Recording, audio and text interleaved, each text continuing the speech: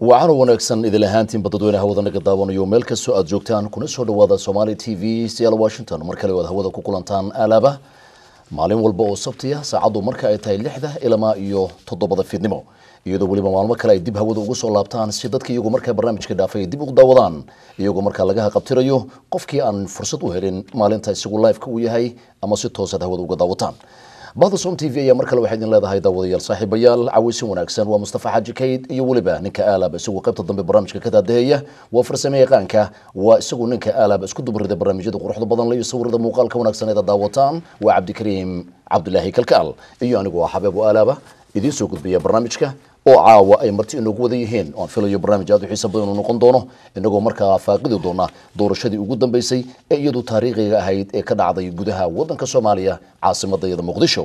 Oan filayo inay iyadu ahayd mid taariikhi ah oo dhallaanka iyagu markaa dhalan doona ama iyagu markaa haatanba joogahay ay ka sheekeyn doonaan inta noloshooda ka dhiman saddex iyo afartan sannadood kadib ayaa doorasho xora waxay ka dhacday gudaha magaalada muqdisho iyadoo lagu doortay madaxweyne cusub kii horena isaguu isaga huleelay isagoo si wanaagsan u gacan qaaday sida waddamada reer galbeedka iyo waddamada isku magacaabay ama hanaanka dimuqraadiyadda ku salaysani ay isugu gudbiyaan ama ay isugu wareejiyaan qaabka madaxweynenimada markii qof laga helo isla markaana uu guulaysto mid kale. Waa sababta aynu unan waa taariikhi.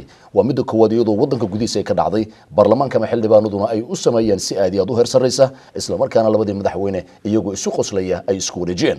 Haddaba garabkayga midig waxaa fadhiya maxamed ninka lagu magacaabo maxamed yuusuf max ood wada garanaysaan markaad aragtaan aad wada qosli doontaan oo isagu aalaba ah ninka isagu qora wargeyska runta oo aan filayo dadweyne fara badan marka uu soo baxo wiig walbaba in iyagu madaxa isdaraan isla markaana ay ku arkaan waxa ay ku farxaan iyo markaa waxay ka xumaadaan intaba.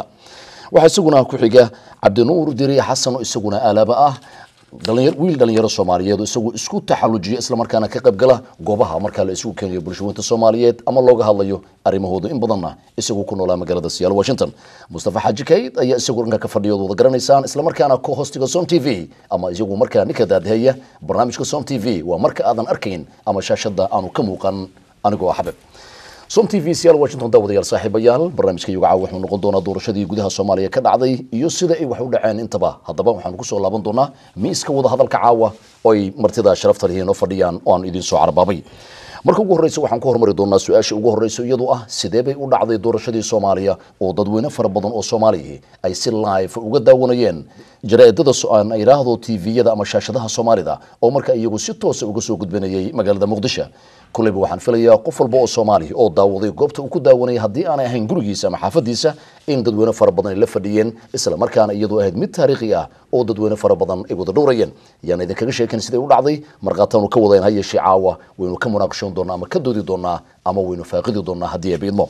Marka ugu horreysa max waxaan ku soo hormarayaa sidee bay u dhacday doorashadii soomaaliya ee lagu doortay madaxweynaha cusub magaalada muqdisho?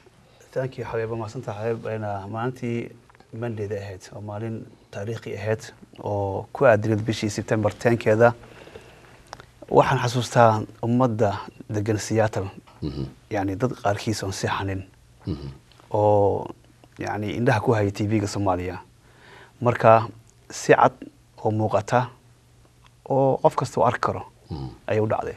Waa gartay maadaama aan wada jeednay sanaadiiqdii lagu dooranaya oo iyagu muraayado dhaldhalaalayay ahaa islamarkaana afka loo gediyey lawada tusiyay dadka inaanay ahayn kuwo waraaqo horle ay ku jiraan iyadoo la isla dhexmarayey shalabada shariif oo lagu yaqaano soomaaliya inay siyaasadihii dominad gareeyaan afartii sano ugu dambeysayba in iyagu corruption ama isdabamarin ay samayn doonaan.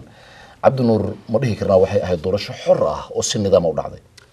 Bismi raxmaan raxiim alxamdu rabbi alcaalamiin marka koowaad rabbi subxaana watacaala ayaan u mahad celinayaa oo inoo sahlay fursadda qaaliga ah oo ay ku dhacday doorashadaas ka dhacday muqdisho. Runtii waxay ahayd sida qof walba oo muwaadina oo soomaali ah uu ka marakacay ama uu qiray inay ahayd doorasho runtii aada iyo aad uga madax banaan wax badan oo xor ah aada iyo aad bayna u fiicnaed qaabkii loo soo abaabulay iyo sida ay u socotay. Isaga oo qof walba oo muwaadin ah oo soomaali ah ama meesha ha joogo ama ha ka maqnaado uu shucuurtiisa ay ka muuqatay inay ahayd. Runtii shay lama filaana muddo dheer ayayna soomaaliya doorasho sidaas kale ayna ka dhicin.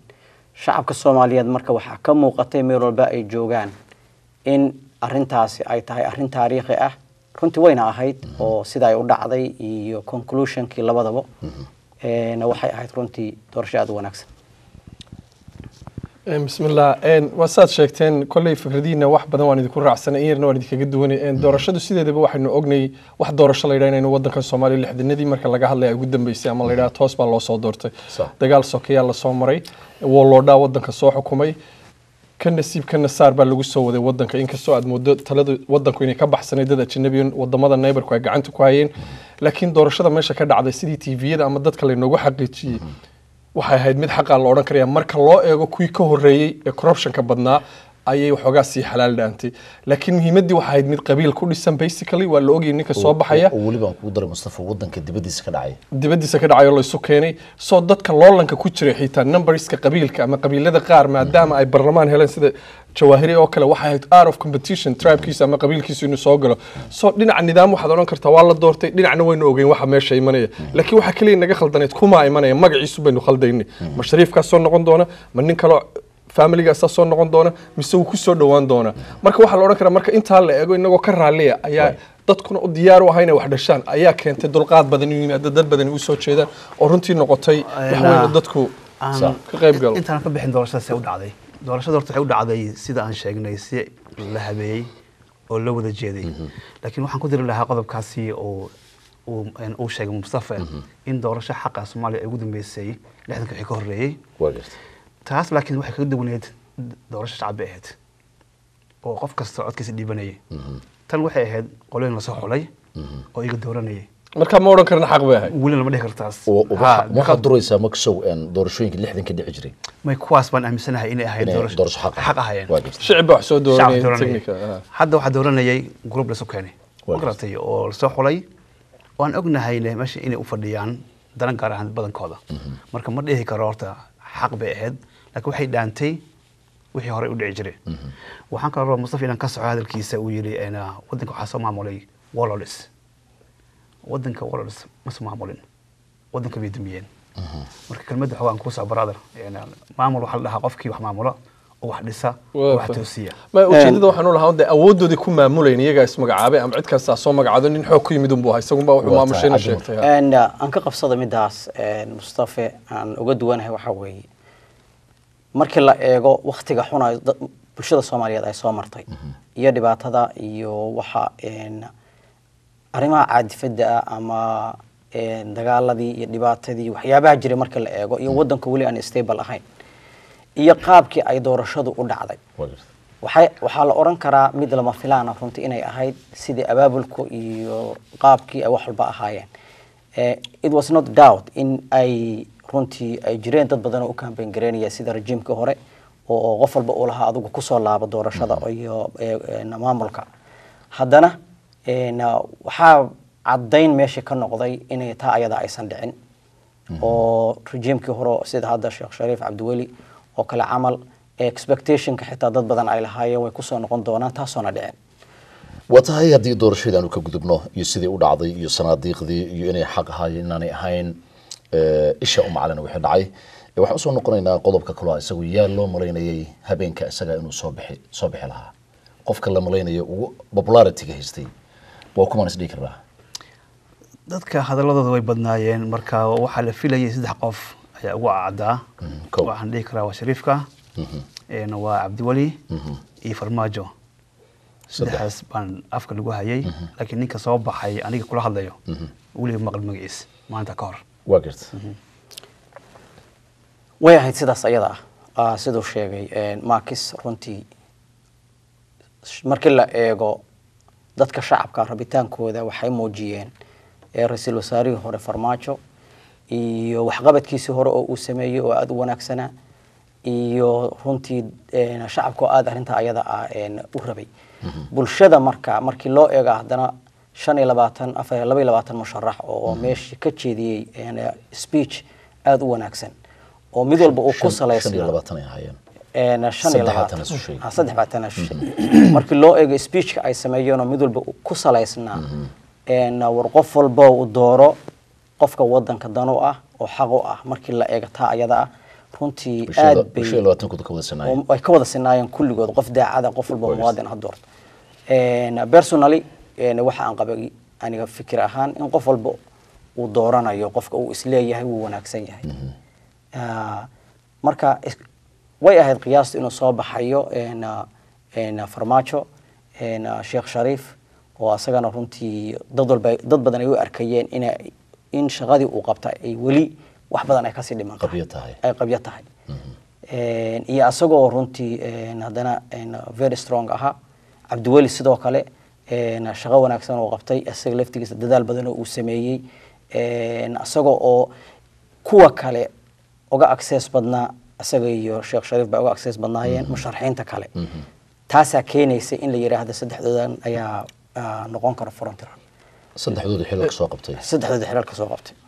Runtii fikradahaan aniga in yar baan kaga duwanay sida saddexdan nin eed sheegtay cabdiweli farmaajo iyo cadda waliba oo dadka qaar ay aad kugu malaynayeen waxaan odhan karaa farmaajo kale haddaan dib ugu soo noqdo. Nin shicibku aad u wateen buu ahaa laakiin doorasho shicib meesha ma taalo magac ahaan nin u hadlay ama wax hilib u hayo inta intuu xukunka ra'iisul wasaarnimada soo qabtay. Raggan kalena jagodood way soo cadcadeen laakiin waxaad moodaa soomaaliya haddaynu dib ugu noqono marbaa warlord aad u talin jiray ama wasiir ha noqdaan ama system dowladeed ha ku jiraan ama dadka laga tala qaato wadanka ha noqdaan. Waa laga bedelay waxaa loo bedelay nin sheekhu inuu wadanka wax ka soo qabto oo aan odhan karayo dadkii soo maray xukun soomaaliyeed. Ee ugu diinta adag buu sheekh shariif ahaa aqoonta loo leeyay ama uu ka hadli jiray? Marka dib taariikhdiisa loogu- laabto. En afartii sano soo hay isbeddel weyn muu iman. Runtii wax walba iska isloobay ahaayeen. Dhib weyne ma dhicin wax weyna wadanku ma geengarayn waxoogaa iska level dhexe ahayd maadaama dadka soomaalidu ay maanta fikradahoodii wax iska bedeleen aqoontoodii korodhay. Dad badan baa waxay odhan jireen maadaama warlord tijaabiyey sheekh tijaabiyey qof aqoon leh maxaa wadanka loogu dhiibi waayey? Soo fikrad ahaan aniga say la tahay ama dadka siyaasadaha indheeya soomaalidu way ogaayeen qof cilmi leh in loo dhiibayay laakiin qofuu yahay may garanayn. Waa dadka loo inkastoo soomaalidu aragtida ay arkaysay ahaa كان شي شد أكيد داوني اما شنو لاتان كان مقع. لكن وحكوه وحكو هوس مصطفى ما شام كو جانج قرايه لو ديبو يمسل دورنيه runtii waxbaa lasoo fikisgareeyay baan anugu odhan karaya shakhsi ahaan waa markaan anigu iska hadlayo ma odhan karaya waxba ka waraya Waxba ka dambeeya. laakiin percentageka ma garan karaya inta kolle influence neighborka ay nagu jiray dowladaha neighborka bahda caalamku way ogeyd ninka ay la dhiilgaraynayaan meeshu wax marinaya berri ka maalin hadduu khudbad khaldan oo negative a sii daaya ama dadka ka hor keena ciidamada jooga marka marka doodaadu waxay tahay baaladkii waxba ka dambeeyey baaladka soomaalidu waxay rabtaa oo kale loo raadinay sidii waqtigii shariif ama xakiimtu ay yimaadeen dadku dhinaca diintu very strong ku ahaa. Marka Waxbaa la dhasheen ciidamada etoobiyaanku soo galeen way xoogeysatay. Wax bahdii caalamka la socda dadkii shicibkana la socda ayaa sheekh shariif jagada ku sii helay. Baan u sida aniga shakhsiyadayda ila tay Okay. ninkana sidoo kale loo raadiyey marka waxaan odhan karayaa dadkaas way doorteen laakiin kolley cid ogaan karta magaciisu meeshu maraya nin u qalmana runtii weeyaan. Madaxweyne sheekh xasan maxamuud waxaan leeyahay ilaahay ha ku garab galo.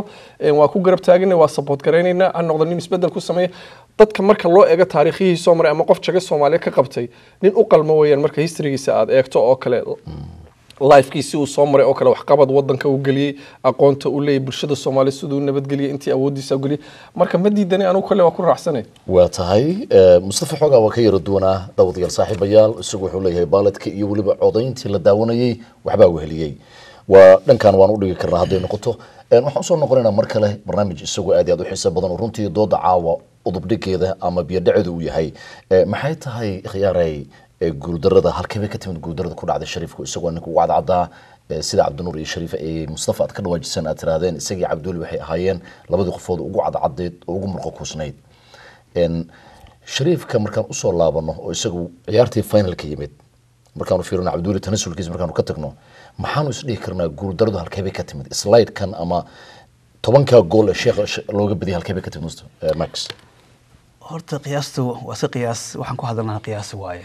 Meesha kama nihin goobjoog mogte laakiin waxa aan maqaalo aan ku ahay in- la doonayay in weji cusub meesha u yimaado. Weji cusub ha yimaado haddana adiga ku watay yaa doonay marka wejigaa cusub inuu yimaado. Weji cusubba dadku iyo xildhibaanada doortay way cusbaayeen badankooda. Aqoonna way lahaayeen. Marka waxaa la diidanaa maadaama huha badan socotay warar badan ay lahaayeen sheekh shariif iyo laba shariif wadanka way loonsadeen En, uh, sheekh shariifna runtii wax badan uusan dhaamin xukuumaddii ka horreysay cabdullaahi yuusuf oo ethoobiyan wadanka lagu eedeynay keentay isagana uu ka soo badiyey uu ku soo daray kenyati iyo burundiyas iyo ugandes iyo cid kastaba. Dadku waxay ku daaleen dagaaladan faraha badan leh. Ninkii saxibadiisii loo doortay inuu la hadlo lama hadlin. Wuu ka gaabiyey nabadii inuu raadiyo. Marka dadkii waxay doonayaan marka in nabaddii ay xogeysato markaasina la helo qof weji cusub oo dadku laga yaabo inuu nimankii la hadlo oo uu soo dhaweeyo. Marka waxaan malaynayaa sheekh shariif halka uu ku dhiiqday waxay ahayd markii dadka qaar waxay leeyihiin uu soo dhaweeyey nimankii hore. Sax. Warlordskii taasaa magaciisa dishay aada lagu carooday haddaan fikradiisa wax ku sii dareegi lahaa cabdinuur een, waxay la tahay kolley shariif afar sano ayay ku soo gaadhay. Inkastoo ra'iisul wasaare laba jeer la bedelay. Isbedel sidaan horeba u sheegay weyn oo muuqda mu ima wax dhibo weynna muu dhicin. Laakiin dowlad ku meel gaadh bay ahayd. Si haddaba isbeddelka ama aragtidii dadka ka qabay soomaalidu ama dadka kale neighborka ama bahda caalamka ay u arkayay in wax yar laga bedelo qorshihii la tilmaamaa ay u noqon weyday ama waxaan odhan karaya way noqon weyday in shariifki inta marka lasoo diyaargariyay dowladda ku meel gaarhka muddada dheer lagu soo sheegay haddana dib loogu xalaaleeyo taasaana isbedel keentay bal wax ka duwano haddana dadkii afar sano kale oo ku qaata ama intii kale loogu talagalay madaxweynahan inuu joogo lagu qaado bal in fikrad cusub iyo aragti fiicanna la keeno runtii tiina way meel martay bay aniga ila tahay maadaama xubno cusub ay yimaadeen dowladduna ay ka guurayso xilliga kala guurka isbedelka xitaa dadka soomaalida ee dibadaha jooga gudaha wadanka joogaa sugay isbeddel imika waxaan garan karayaa meesha uu ka qudbadaynaya in dad badan isugu soo baxay doonaya hadalkiisa in ogaado iyo hadafkiisu halka wadanka u hogaamin lah laakiin tii shariifka marka la eego inay dadka qaar ka gaabsadaan ama yidhaahdaan I know this guy la afar sanaan aqaanay wax isbedelay meel ma gaadhsiin ra'iisul wasaare la ii bedbedelaa sheekada dhani waa meesheedii. Waxaan uga bedelnahay mustafe Een, muxuu ku haray sheekh shariif? Soomaaliya labaatankii sano ugu dambeysay dad badan oo soomaaliya ayaa ka soo baxay wadanka oo diaspora ah. In badan oo ka mid ahna wadanka dib bay uga laabteen. Dadka in badan oo ka mid ah oo soomaali wana soo bixin iyo kuwa horey u laabtay intaba wadankii bay joogeen. Waxay bulshada soomaalida ah ama dadka badan oo laabtay ay la laabteen runtii aqoon iyo cilmi iyo tayo tiro badan. Taasina waxaan odhan karnaa waa midda keentay markii loo eego inay isu yimaadaan een, nin kastoo beesha caalamka ay qayb ka qaadatay iyagu ay riixayeen in soomaaliya ay dowlad ka dhalato haddana een, dadka badan oo noqday waxay keentay in dad badan oo tayo leh uu baarlamaanka soo galo. Dadka badan oo tayada leh oo baarlamaanka soo galay iyo rabitaankii bulshada waxay bedeshay runtii aragtidii dad badan ay qabeen. Een, waxaan oran karaa beesha caalamku ayagoo tooda ay doonayaan.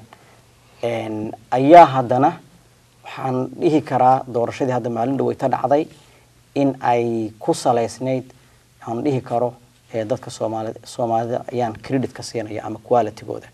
Oo waxaan oran karaa waxyaabaha keenay sheekh shariif inuu ka haro ay tahay ayadoo ay dadku doonayaan isbeddel kii hore ka bedelan iyo maamulkii hore ka bedelan iyo tayatii hore ka bedelan runtii waxyaaba badan wuu qabtay sheekh shariif laakiin ummadda soomaaliyeed waxay dooneysay weji kii hore ka bedelan jaanqaadkii hore ka bedelan iyo horumarkii hore ka bedelan kaasoo ay aaminsanaayeen in faceka cusub ama musharaxiinta mid ka mid ah uu noqon karo uu xambaarsan yahay taa ayada